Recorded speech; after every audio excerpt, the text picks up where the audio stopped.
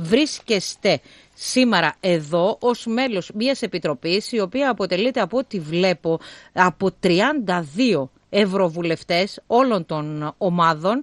Όλων των ομάδων, ναι, και ένα, μια αντιπροσωπεία 12 ευρωβουλευτών ξεκινούμε την επίσκεψή μας, την ξεκινήσαμε σήμερα εδώ στην Αθήνα. Είναι αυτή η ε, περιβόητη, για να ενημερώσουμε και τους ακροατές μας. Είναι η επιτροπή αυτή για την οποία συζητήσαμε και στο πρώτο ημίωρο αυτής της εκπομπής. Όταν λοιπόν η Τρόικα αντικαταστάθηκε από το κουαρτέτο, όταν γινόταν ολόκληρη συζήτηση στο Ευρωπαϊκό Κοινοβούλιο για το κατά πόσο είναι δημοκρατικός θεσμός η Τρόικα, η οποία επιβάλλει μνημόνια, καταργεί συντάγματα κτλ. Και τότε λοιπόν ο τότε ο Αλέξης Τσίπρας ζήτησε τον περασμένο Φλεβάρι αυτή η, να δημιουργηθεί μια επιτροπή, μια ομάδα εργασίας από το Ευρωπαϊκό Κοινοβούλιο θεωρώντας ότι είναι ο πιο δημοκρατικός θεσμός που επί της ουσίας θα ελέγχει την... Θα εποπτεύει με έναν τρόπο. Το ελληνικό πρόγραμμα. Ναι. Ο κύριος Αγγέλης, τον οποίο είχαμε εδώ, μας είπε λοιπόν ότι αυτό είναι ένα πρόσχημα, είναι μια αυταπάτη, διότι όταν υπάρχει ο Ευρωπαϊκός Μηχανισμός Στήριξης, άλλοι είναι αυτοί που αποφασίζουν. Θέλουμε λοιπόν να μας πείτε εσείς τη γνώμη σας, γιατί είστε μέλος αυτής της Επιτροπής. Ποιος είναι ο ρόλος της Επιτροπής ναι. αυτής; Πρώτα απ' όλα υπάρχει μια απόφαση του Ευρωπαϊκού Κοινοβουλίου από την προηγούμενη θητεία με έκθεση το 2014 που απέδειξε ότι η Τρόικα δεν λειτουργεί δημοκρατικά σε όλα τα κράτη και είχε αποφασίσει το Ευρωπαϊκό Κοινοβούλιο να ασκήσει έλεγχο στην Τρόικα. Για να εξηγήσουμε, ε, το ένα μέλος της Τρόικας, η Κομισιόν, είναι ε, επί της ουσίας ελέγχεται κοινοβουλευτικά από το Ευρωπαϊκό και παίρνει ψήφο εμπιστοσύνης από το Ευρωπαϊκό Κοινοβούλιο και εκλέγεται. Επομένως, ασκούμε σε σοβαρό κοινοβουλευτικό έλεγχο τουλάχιστον στο ένα μέρος. Ε, από εκεί και πέρα και πρόσφατα στην έκθεση που ψήφισε η Ευρωβουλή, την οποία είχα εισηγηθεί εγώ για τον έλεγχο της Ευρωπαϊκής Κεντρικής Τράπεζας, πέρασε διάταξη που έλεγε ότι πρέπει να ελέγχεται και η Ευρωπαϊκή Κεντρική Τράπεζα. Και ο ρόλος ο δικός μας, θα έλεγα, είναι σημαντικός, διότι αυτό φάνηκε και σήμερα στη συνάντηση με τον κύριο Κοστέλο. Ο κύριος Κοστέλο είναι ο εκπρόσωπος της Κομισιόν. Ε, είναι ένας ανώτατος υπάλληλος της Κομισιόν. Και βεβαίως δέχτηκε πάρα πολλές ερωτήσεις, ε, ένα είδους ανάκριση, θα λέγαμε, από τους Ευρωβουλευτές για το ρόλο που επιτελεί η Κομισιόν μέσα στην Τρόικα. Για ποιο λόγο ζητεί συγκεκριμένα πράγματα. Εγώ το ρώτησα τι θα γίνει με την ανακεφαλαιοποίηση των ασφαλιστικών ταμείων. Διότι εφόσον έχουν υποστεί ζημιά λόγω του PSI, 12,5 δις, ε, είναι εύλογο να ανακεφαλαιοποιηθούν από τα χρήματα των ε, Ελλήνων, των χρήματα που περισύψαν από την ανακεφαλαιοποίηση των ε, τραπεζών. Ο ίδιος ομολόγησε ότι πράγματι υπάρχει ζημιά των ασφαλιστικών ταμείων. Βεβαίως δεν δέχεται αυτή την άποψη. Πρώτα απ' όλα λέει δεν μου υπέβαλε τέτοια πρόταση η ελληνική κυβέρνηση. Οπότε σήμερα εγώ θα το θέσω στον κύριο Πετρόπουλο που σε λίγη ώρα θα το συναντήσουμε.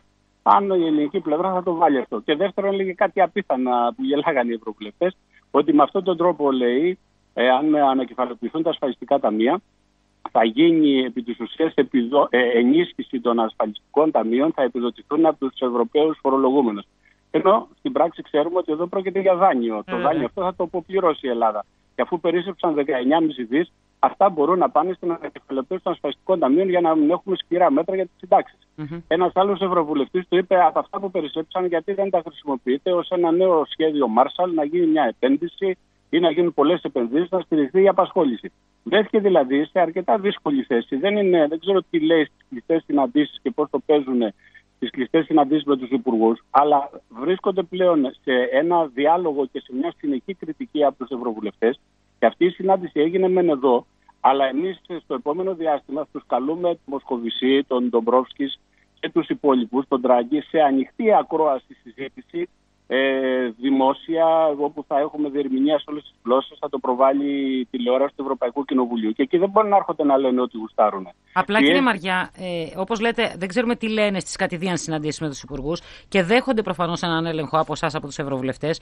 Όμως, τελικά, ε, διατηρούν το δικαίωμα να κάνουν ό,τι θέλουν. Έτσι, ε, είναι; ένα ερώτημα. Η Κομισιόν δεν ξέρω πόσο διατηρεί αυτό το δικαίωμα, διότι αν προκαλέσει ιδιαίτερα τους ευρωβουλευτές, ε, μπαίνει και ένα θέμα λειτουργίας της κοινοβουλευτικού ελέγχου και υπάρχει ακόμα και το δικαίωμα πρότασης μορφή θεωρητικά. Άρα το ένα από τα τρία μέλη, τουλάχιστον η Κομισιόν, πρέπει να ενεργεί και να ευθυγραμμίζεται με βάση τις οδηγίες του Ευρωπαϊκού Κοινοβουλίου, διότι το Ευρωπαϊκό Κοινοβούλιο έχει ένα υπέρτερο ρόλο. Εμείς λοιπόν ασκούμε ένα εποπτικό ρόλο επί της Τρόικας και αυτή η γκρίζα ζώνη που υπήρχε μέχρι πρόσφατα, όπου η Τρόικα έκανε την κουστάριση, ότι κανείς δεν μπορούσε να την ελέγξει και ότι δεν πήγαινε πουθενά να λογοδοτήσει, αυτό έχει τελειώσει. Και νομίζω ότι αυτό είναι πάρα πολύ σημαντικό. Σωστό. Λέτε όμως ότι επί της ουσία. Μισό λεπτάκι. Λέτε ναι. λοιπόν ότι ασκείτε εποπτικό ρόλο τουλάχιστον στην Ευρωπαϊκή Επιτροπή, γιατί είστε ευρωβουλευτές. Απέναντι στην Ευρωπαϊκή Κεντρική Τράπεζα, απέναντι στο Διεθνές Νομισματικό Ταμείο ή στον ESM, εκεί έχετε τη, τη δυνατότητα. Το δεύτερο θέμα λοιπόν είναι η Ευρωπαϊκή Κεντρική Τράπεζα. Mm. Τέθηκε θέμα σοβαρό με τα κόκκινα δάνεια. Ναι. Ε, και στον Κοστέλο και θα το πούμε και, στον, ε, ε και στην Τράπεζα της Ελλάδα θα συναντηθούμε αύριο με τον κύριο Στουρνάρα, αλλά το έχουμε βάλει και στον Τράκη. Περίπου ο Ντράγκη ε, ακολουθεί μια πολιτική που στηρίζει τα κόκκινα δάνεια στην Ιταλία και αντί να τα πάρουν τα χωράκια, mm-hmm. ε, τα δίνει ως ε, ως εγγύηση στην κεντρική τράπεζα ε, και δίνει ρευστότητα στις τράπεζες Ιταλικέ. Το έθεσα αυτό το ερώτημα, γιατί να μην εφαρμοστεί και στην και Ελλάδα. Εδώ. Mm-hmm. Ναι. Η εδώ, απάντηση λοιπόν, ποια Η απάντηση του Ντομπρόφσκης ήταν ότι αν ο Ντράγκη το θέλει, γιατί όχι. Τώρα λοιπόν εμείς θα συζητήσουμε και με τον ε, Στουρνάρα. Δηλαδή δεν είναι όπως στο παρελθόν όπου μπορεί να κάνουν ό,τι θέλουν και να λένε ό,τι θέλουν, διότι αυτές οι συζητήσεις είναι δημόσιες και ασκείται με τεράστια πίεση. Επομένως, θεωρώ ότι αν ο ρόλος τον οποίο έχουμε τον εξασκήσουμε σωστά θεσμικά και κάνουμε ένα στενό μαρκάρισμα, προφανώς θα είναι η κατάσταση καλύτερη από αυτή που ήταν. Ωραία. Μία άνω τελεία για το συγκεκριμένο που λέτε. Μήπως τελικά είναι άλλο πράγμα η Ιταλία και άλλο πράγμα η Ελλάδα, διότι η Ιταλία είναι μια χώρα η οποία έχει διαφορετική βαρύτητα μες στην Ευρωπαϊκή άλλο, Ένωση, ε. έχει βιομηχανική παραγωγή. Ναι. Είναι μια μεγάλη καπιταλιστική χώρα και δεν είναι μια Ελλάδα η οποία είναι εξεδοδιασμένη. Και αυτή λοιπόν μπορεί να διαπραγματεύεται την, την Ευρωπαϊκή Κεντρική Τράπεζα και να γίνει αυτή η εξαγορά που λέτε. Αντιθέτως, εμείς είμαστε βορράς ναι. στις επιθυμίες του καθενός. Άρα λοιπόν θέλω να και πω. Έχουμε λειτουργήσει και ως πειραματόζω. Τι δυνατότητες ναι. έχεις να ασκήσεις πίεση; Ε, το, το, το θέμα είναι θέμα ουσίας, διότι σύμφωνα με την Ευρωπαϊκή Ένωση και τις διατάξεις της πρέπει να υπάρχει ίση μεταχείριση έναντι όλων των δανειοληπτών και όλων των κρατών. Άρα λοιπόν, εάν οι τράπεζες οι ελληνικές, ακολουθώντας το σύστημα που θέλει να κάνει η Ιταλία, παραμένουν φερέκιε, τότε κατά την άποψή μου πρέπει να επιδιωχθεί αυτή η λύση για τα κόκκινα δάνεια. Και να επιδιωχθεί αυτή η λύση υπέρ των δανειοληπτών.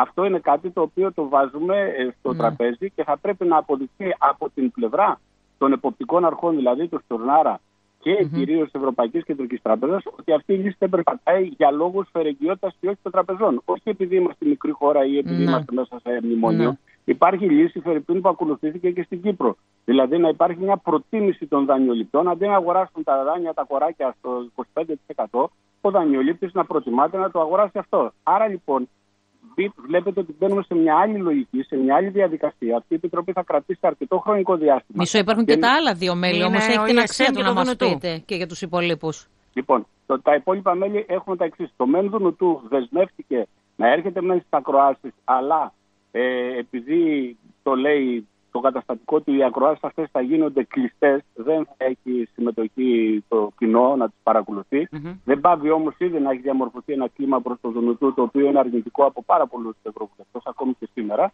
Και ε, ο κύριος Ρέγκλιν και ο ESM ες, έχουν και αυτοί εμέσως έλεγχο από την Ευρωβουλή, διότι σε διάφορα επίπεδα εμπλεκόμαστε. Άρα λοιπόν, εγώ θεωρώ θετικό και αυτό το λέγαμε και πριν, δηλαδή και πριν το συζητήσει ο κ. Τσίπρας, ακόμη και την εποχή που ήταν αντιπολίτευση ο ΣΥΡΙΖΑ ε, και οι ανεξάρτητοι Έλληνες και αρκετοί βουλευτές ζητούσαμε να ανοίξει, να υπάρξει μια διαφάνεια στον τρόπο λειτουργίας της Τρόικας και μάλιστα με μια πρόταση στο Συμβούλιο της Ευρώπης, σε ένα άλλο όργανο, το Φλεβάρι του 2014 που έχει καταθέσει, πέρασε τροποποίηση για να γίνει έλεγχος και άρση της ασυλίας των υπαλλήλων της Τρόικας.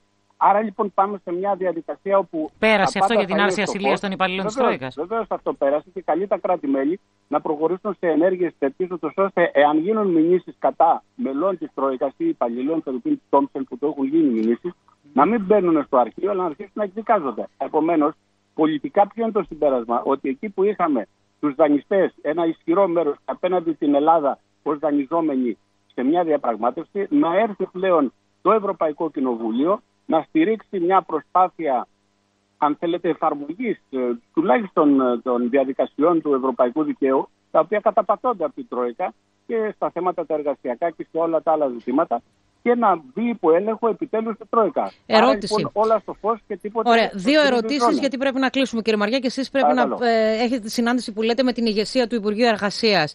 Ε, στην Επιτροπή αυτή των 38, ποιοι είναι οι συσχετισμοί δυνάμεων, να το πω έτσι, ανάμεσα στις ομάδες των Ευρωπαϊκών; οι ίδιοι που υπάρχουν και συνολικά δηλαδή. Α, αποτυπώνει λοιπόν το συσχετισμό ναι, ναι. δυνάμεων. Ναι, και το ας πούμε, δεύτερο; εμείς Έχουμε 10% εμείς που έχει μικρότερο ποσοστό.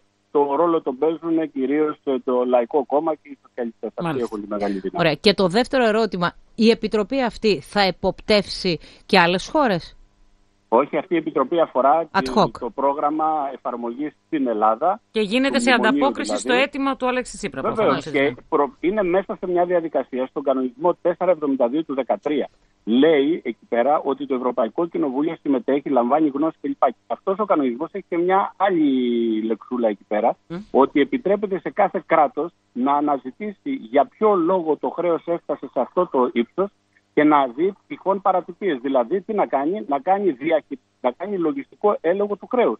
Άρα λοιπόν αυτό μπορεί να το κάνει η ελληνική κυβέρνηση μέσα από το Υπουργείο Οικονομικών και να αξιοποιήσει αυτόν τον κανονισμό που κατά τα άλλα είναι αρνητικός για τα κράτη, διότι ενισχύει, αν θέλετε, τους δανειστές και τον εποπτικό ρόλο των ε, θεσμών, αλλά έχει και δύο-τρία σημεία στα οποία πρέπει να πατήσουμε και να τα αξιοποιήσουμε υπέρ μας. Και να υποθέσω ότι εσείς επειδή ήσασταν από τους προτεργάτες της Επιτροπής Λογιστικού Έλεγχου του Χρέους, επιμένετε στην άποψή σας αυτή; Όχι μόνο επιμένω, αλλά πέρασε και στην έκθεση την οποία σας αναφέρω της, ε, που ήμουν εισηγητής για την Ευρωπαϊκή Κεντρική Τράπεζα. Αυτό το σημείο πέρασε μέσα για το λογιστικό έλεγχο του χρέους ότι πρέπει να γίνεται και από εκεί και πέρα ε, με την επισήμανση ότι θα πρέπει να είναι με διαδικασίες πολύ συγκεκριμένες και να μην είναι με ad hoc μόνο διαδικασίες. Δηλαδή έχει ανοίξει ένας δρόμος για κουβέντα και νομίζω ότι μπορούμε να πατήσουμε πάνω σε αυτά τα θέματα ούτως ώστε να προχωρήσουν. Και για την κυβέρνηση Δεν είναι και μπορούμε ένα να κερδίσουμε στίχημα πάντα ότι αυτό το λοιπόν θέμα της διευθέτησης του χρέους, έτσι. Με ό,τι η βέβαια ο διευθέτησης του καθένας χρέους, ναι, το εννοεί. είπε και- το είπε Γιατί και ο όλοι Κοστέλο. λένε διευθέτηση αλλά όχι κούρεμα. Ναι, το είπε και ο Κοστέλο, ο οποίος είπε ότι πρώτα θα λυθούν τα θέματα στην αξιολόγηση, θα υπάρξει ένα πακέτο συγκεκριμένων μέτρων και από εκεί και πέρα ανοίγει η συζήτηση η διευθέτηση του χρέους. Που προφανώς δεν μπορεί να είναι με βάση και το τρίτο μνημόνιο η απομείωση ή ονομαστική Ονομαστικό απομείωση του κούρεμα. χρέους, αυτό το λέει, αλλά από εκεί και πέρα μπαίνει ένα θέμα με ποια επιτόκια και για ποιο χρονικό διάστημα. Νομίζω ότι ε, από το μηδέν που υπήρχε, τουλάχιστον αυτή η Επιτροπή μπορεί να παίξει ένα ρόλο. Είναι θέμα των ίδιων των Ευρωβουλευτών και έχει αποδείξει το Ευρωπαϊκό Κοινοβουλίο να πιάνει τις ευκαιρίες και από τη μήγα να βγάζει ξύγκη. Μάλιστα. Νομίζω ότι θα μπορούσαμε Μάλιστα. να πάμε σε μια θετική κατεύθυνση. Προς Νότης το παρόν Μαριάς. από τη μήγα ξύγκη βγάζουν οι δανειστές και η Μαριά. το θέμα είναι να βγάλουμε και εμείς Ε, να μακάρι. συνεχίσουμε τον δρόμο σε Μακάρι. αυτή την πολιτική που έχουν διάλυσης του συνταξιοδοτικού συστήματος. Αν βλέπατε τον Κοστέλο το πώς αντιμετώπιζε τους ευρωβουλευτές όταν τον πίεζαν στα θέματα να μην Αμήχανος. γίνει μείωση, μείωση των συντάξεων, ε, πραγματικά θα είχε πάρα πολύ ενδιαφέρον. Ήταν Και αμήχανος, το ίδιο- δηλαδή ήταν. Ήταν ιδιαίτερα αμήχανος και πιεζόταν πάρα πολύ από τους ευρωβουλευτές όλων των πλευρών. Δεν ξέρω αν έχει το ίδιο στήλο όταν συναντάει σε κλειστές πόρτες την διαπραγματευτική Έχουν και ομάδα τεχνοκράτες στην ελληνική. ανθρώπινες στιγμές. Νομίζω ότι επειδή είναι ανοιχτές οι διαδικασίες και πιέζονται και Ναι. ξέρουν ότι εμείς στο Ευρωκοινοβούλιο ε, μπορεί να βγάλουμε στη σέντρα την Ευρωπαϊκή Επιτροπή με αρκετά μεγάλη πίεση. Είναι απέναντι προσεκτική. Σε Ντομπρόφσκι και μοσκοβισι Μμμ. είναι προσεκτική και πιθανό να πετάνε τον μπαλάκι στο, στον κακό, δηλαδή στο δούνο του.